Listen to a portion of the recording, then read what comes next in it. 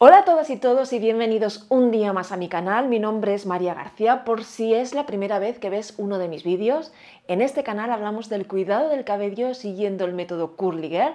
Si no sabes lo que es este método, si has llegado hasta este vídeo buscando todo tipo de información, te invito a que te pases por la lista de reproducción que os he preparado con todos los vídeos básicos para que aprendáis a cuidar vuestro cabello siguiendo este método. Os lo dejo aquí arriba enlazado, también en la cajita de descripción y en el primer comentario fijado del vídeo que es donde donde os dejo toda la información sobre todos los productos que salen en este vídeo y dónde los compro yo. Este vídeo es el vídeo de continuación de una serie de rutinas en las que estoy trabajando para reconstruir, reparar, para volver a revivir el pelo después de los maltratos que ha llevado durante todo el verano, de los malos cuidados. Las rutinas anteriores han estado muy enfocadas sobre todo en dos aspectos. Uno de ellos es la limpieza profunda y es que llevaba más de tres meses sin clarificar en mi cabello. Sabéis que todas aquellas que seguimos el método Curly Girl tenemos que introducir dentro de nuestra rutina y es fundamental hacerlo los clarificados del cabello. Estos clarificados pueden ser más o menos frecuentes dependiendo de un montón de factores, como pueden ser el tipo de productos que tú utilices, si son más o menos sucios, el tipo de agua que haya en tu ciudad, si es más o menos dura, e incluso el tipo de cabello que tú tengas que tenga más tendencia a acumular productos que otros. En los vídeos anteriores ya os había contado que durante mi estancia en Bali me hice varios eh, masajes balineses y en esos masajes balineses incluyen el tratamiento del cuero cabelludo utilizando una serie de aceites que yo desconozco cuáles son. Por ese motivo, creí necesario que lo primero que debía de hacer al llegar a mi casa era hacerme un último lavado. Con este último lavado no solo conseguía eliminar la acumulación de productos que pudiese tener en mi cabello después de tres meses de no haberme hecho un clarificado, sino que conseguí además eliminar la posible acumulación por siliconas que pudiese quedar en mi cabello por este uso de aceites o productos que desconozco cuáles son. Pero me quedaba una limpieza más y es que estos champús que se utilizan de forma habitual con sulfatos para hacer un último lavado, no todos tienen efecto quelante. Por eso me vi en la obligación de utilizar un champú con efecto quelante para eliminar la acumulación por agua dura, que es algo que se nos olvida muchísimas veces, pero que es muy importante también eliminar.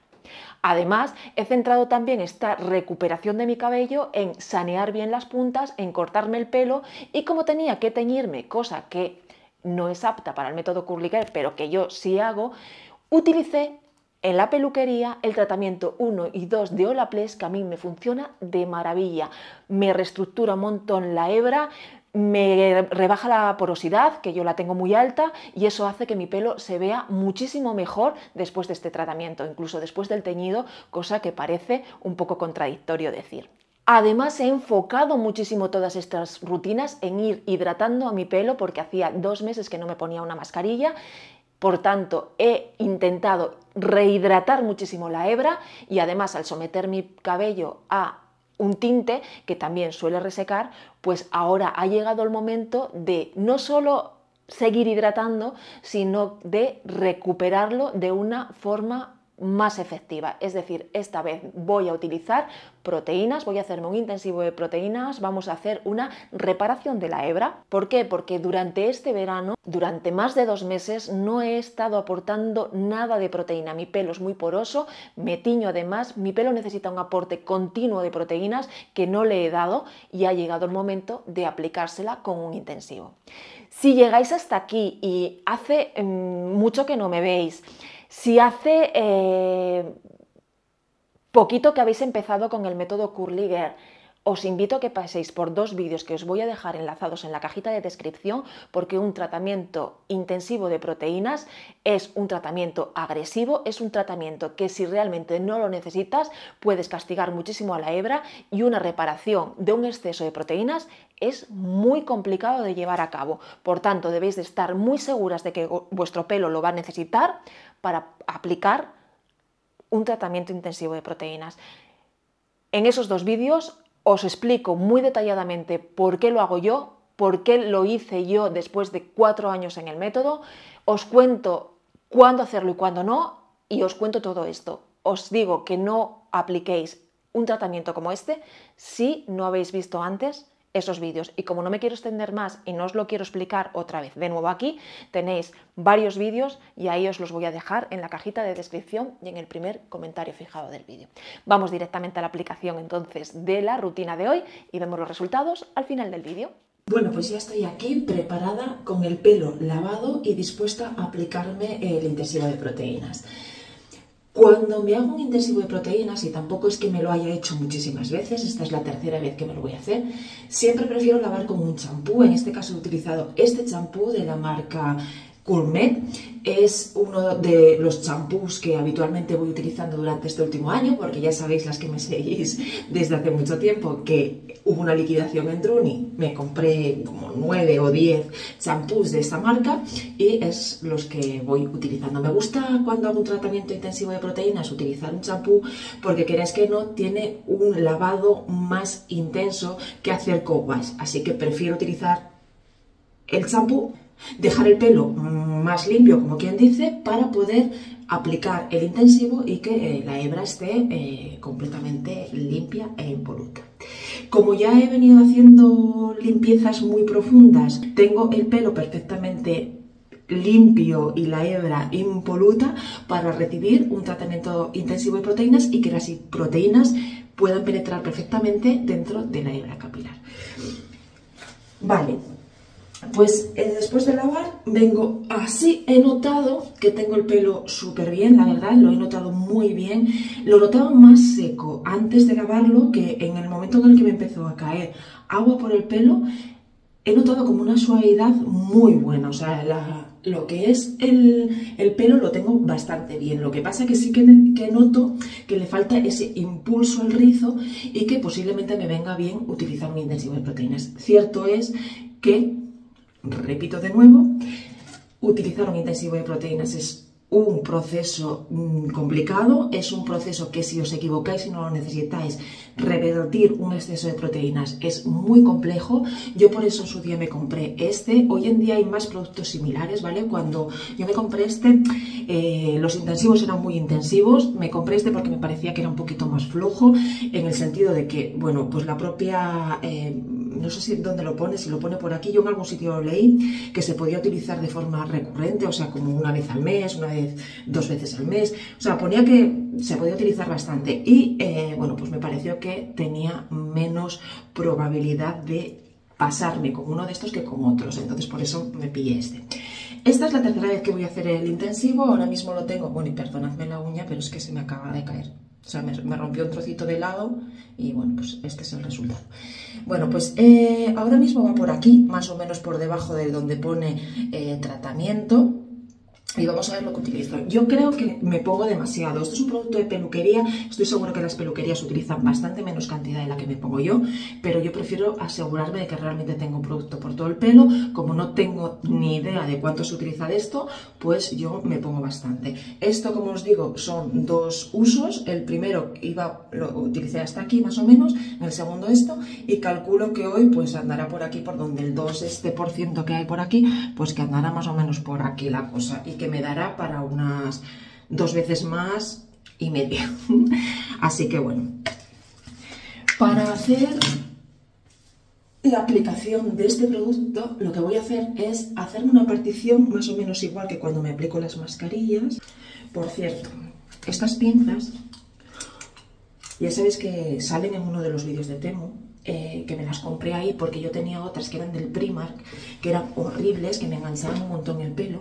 Desde que tengo estas, o sea, estoy encantada. O sea, eh, esto no, te, no me engancho el pelo ni una sola vez. Son maravillosas, eh, aprietan muy bien, sujetan muy bien y bueno, son maravillosas. Que os dije que os iba a hablar de ello en algún vídeo y creo que todavía no os lo había comentado. Vale. Como veis, el pelo está eh, húmedo, o sea, la cuestión es que el pelo tiene que estar así, no puede estar empapado ni mojado, tiene que estar húmedo. Y vamos a ponernos a aplicar esto. Este producto de red, de Redken, este producto de Redken pone que se debe de tener en el pelo unos entre 3 y 5 minutos, creo que pone, sí, entre 3 y 5 minutos. Yo la primera vez que lo utilicé lo puse 4, no quería pasarme y lo puse 4. La segunda vez tenía intención de ponerlo durante 8 minutos y eh, me pasé porque eh, lo tuve 12 por una llamada de teléfono y ahora, esta vez, pues lo tengo intención de ponerlo 8 minutos, ¿vale? Un poco más de lo que dicen, pero esto hay que hacerlo con muchísima moderación porque no os podéis pasar. Así que con moderación, ir siempre de menos a más y controlando mucho la cantidad, o sea, la cantidad, no el tiempo que lo tenéis puesto. Otra de las razones por las que yo me compré este producto fue porque cuando yo me lo compré, que me lo compré hace mucho tiempo, aunque lo haya empezado a utilizar este año, yo cuando me compré este producto eh, había pocas, pocos intensivos de ¿vale? Y después de analizarlos todos me decanté por este porque entre que no creía que fuese tan tan intensivo como otros, eh, este producto no, lo no necesitas que se te, seque el pelo. Y aparte, el tiempo de uso de 8 minutos o poco, de pocos minutos también me parecía que era, bueno, pues un punto a favor para, para comprarlo. Así que ya está. Eh, os puedo decir que se nota muchísimo, ¿vale? Cuando pone, ya veis cómo lo tengo, se nota muchísimo cuando lo estáis aplicando, que realmente lo estáis aplicando por dónde está el producto y a dónde llega. Así que bueno, también es algo a favor. Vale. De aquí arriba voy a separarlo en dos, como hago también con las mascarillas. Y vamos a ir aplicando esto. Yo creo que me pongo mucho pero mucho. Pero bueno. Como tampoco lo utilizo de forma habitual y tampoco es un producto para utilizar de forma habitual y tiene una caducidad que es de 12 meses desde que lo abres, pues tampoco es necesario que os pongáis poquito sin saber exactamente si estáis aplicando lo suficiente, porque ya os digo, esto yo lo empecé a utilizar creo que fue en enero, me quedan poquitos meses para que ya en teoría se caduque y bueno, pues ¿por qué vamos a intentar ahorrar productos si en realidad pues, caduca? Vamos así. Se nota muchísimo, además yo creo que incluso me va como desenredando el pelo, es muy fácil de aplicar, tiene mucho deslizamiento, aunque no lo parezca porque es líquido líquido, y no parezca que, bueno, que va a deslizar nada, a mí, desde luego, me desliza mucho y es como que se distribuye muy bien. Y bueno, pues hasta aquí. ¿Veis? Va como desenredándose en el pelo y puedo pasar perfectamente las manos. Ahora cuando acabe de aplicármelo por toda esta parte del pelo, Voy a incidir un poquito más en las puntas, aunque como las tengo recién cortadas, tampoco creo que sea tan, tan importante. Voy a aplicar bastante aquí. ¿Veis cómo puedo perfectamente pasar los dedos? No lo tengo nada enredado y se distribuye muy bien esto. Y huele de lujo. Vale, pues lo que voy a hacer ahora mismo es ponerme una cola aquí gorrito de ducha para hacer además efecto invernadero, toalla para que además de ayudar ese efecto invernadero, eh, proteger de que no me caiga agua, aunque no va a caer porque está húmedo pero no mojado. Y ahora sí voy a ponerme a esperar 8 minutos. Como no podía ser de otra manera, de los 8 minutos que dije que lo iba a tener, finalmente son 11. Si es que yo mm, no puedo o sea, no puedo utilizar algo que requiera poco tiempo, porque se me va. O sea, siempre me surgen 50.000 cosas. Es mejor que sean 4 minutos y que, oye, por lo menos me quede en el baño esperando los 4 minutos y ya está. Pero en cuanto salgo, algo se me cruza fijo. Pelo totalmente enjuagado del producto y ahora voy a ponerme la mascarilla. La mascarilla voy a utilizar esta, de la marca Guiado.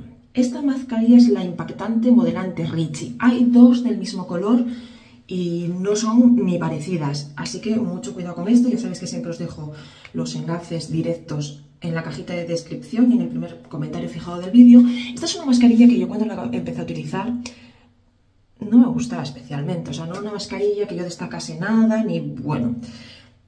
No. ¿Qué pasa? Que la utilizaba siempre después de hacerme un clarificado con arcillas. Y hasta el día que la probé haciendo esto, que es que me pareció fantástica. O sea, cómo reaccionaba el pelo al paso de la mascarilla era brutal. Así que, bueno, no me queda mucha ya, con lo cual creo que la voy a gastar. Si no es hoy, es para la siguiente vez. Uy, qué bien huele. No me acordaba ya. Hace un montón que no la utilizaba. Bueno, desde la vez anterior que, hice esto. Uy, uy, uy, uy, uy, uy, uy. Exactamente lo que os cuento. O sea, con la, con la... Después de las arcillas, no lo noto así, pero es que después de ponerme las proteínas, o sea, es que... Después de un intensivo de proteínas, lo ideal sería ponerse una mascarilla que no llevase nada de proteínas, ¿vale?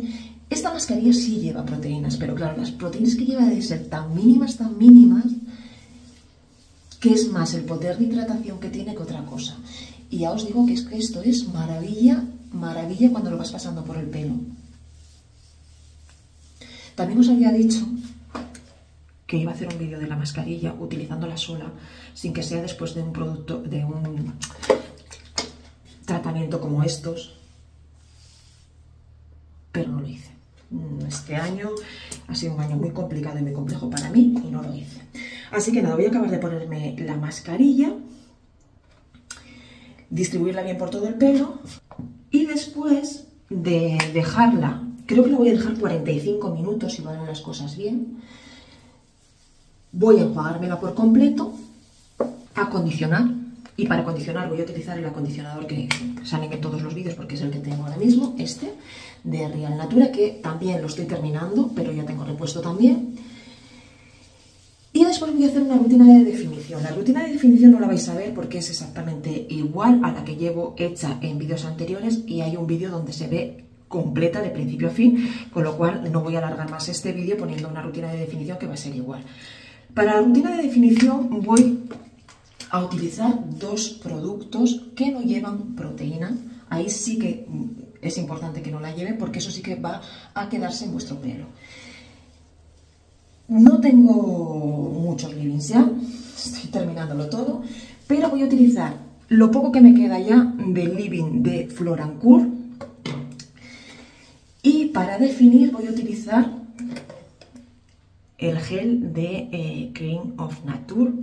La definición la voy a hacer con el cepillo Denman, pasando simplemente el cepillo para distribuir el producto, como me habéis visto en los vídeos anteriores.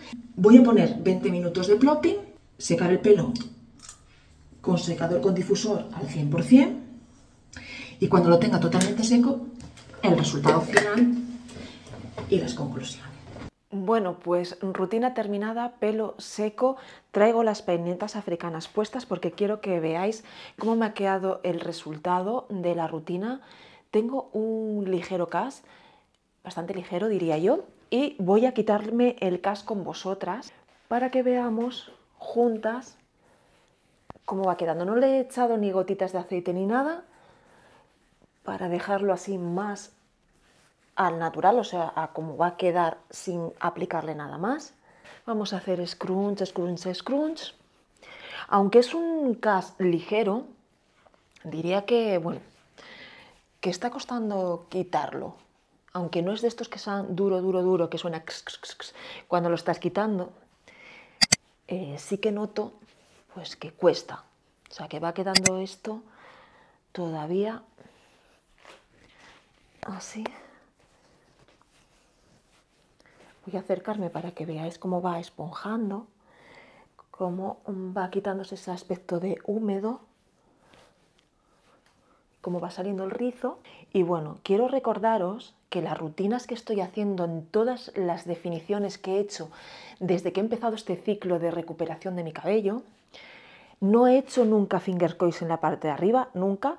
Eh, no he intentado igualar esta parte, que ya sabéis que eh, es más lisa, la tengo mucho más ondulada que rizada en esta parte. Y para intentar igualarla con la de abajo, normalmente lo que me suelo hacer es enroscar un poquito el pelo para que se iguale. Bueno, pues en estas rutinas no he hecho nada de eso. Creo que en el vídeo anterior, no, en el anterior, creo que ahí os mostraba la rutina completa de definición en el de la peluquería creo que es. y ahí podéis ver cómo lo estoy haciendo. Voy a ir abriendo un poquito estos rizos con mucho cuidado porque al no tener tampoco aceite en las manos hay que hacerlo pues eso, con extremo cuidado para no generar frizz. Voy a coger una peineta africana de las que me acabo de quitar y voy a levantar un poco las raíces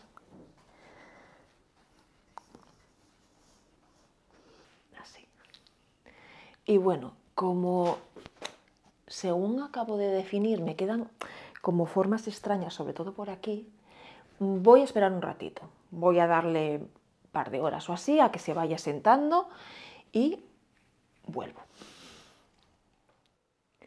Bueno, pues ahora sí, ha pasado una hora y un poco, ya tengo el rizo asentado ya no tengo formas extrañas, aunque bueno, esto va a ir mejorando también conforme pasen las horas. Creo que le ha sentado de maravillas de tratamiento intensivo de proteínas, creo que le hacía muchísima falta. Noto mucho encogimiento, pero además noto como que el pelo lo tengo, bueno, es que tendréis que poder tocarlo, o sea, como lo tengo de bien, de jugoso, esponjoso, de, me lo noto incluso más brillante, lo noto muy bien. Voy a hacer la curly vuelta para que lo veáis cómo está por detrás, cómo se mueve, el movimiento que tiene. Bueno, así. Y como quiero Además, que lo veáis a luz natural, porque creo que cambia bastante. Os voy a dejar también una curly vuelta a luz natural, aunque hoy aquí el día es horrible, como últimamente, que no salimos de este ciclo de mal tiempo, pero bueno, para que lo veáis un poquito cómo está a luz natural. Bueno, esta es una rutina que no contaba con hacer hoy. Hoy tenía intención de hacerme otra rutina distinta, pero después de valorar los pros y los contras, he decidido adelantar esta. Esta la quería dejar para más adelante por si acaso veía que no era necesario o que no era tan necesario hacerme una rutina con un intensivo de proteínas. ¿Por qué he hecho esto? Porque considero que si realmente tenía que hacerme un intensivo de proteínas, era mejor hacerlo ahora que hacerlo después de la rutina que yo consideraba que debería hacer hoy. ¿Cuál es esa rutina? Pues la veréis en el próximo capítulo, en el próximo vídeo, pues dentro de una semana. Hasta aquí mi vídeo de hoy, espero que os haya gustado, que os haya servido de inspiración y nos vemos muy pronto con un nuevo vídeo.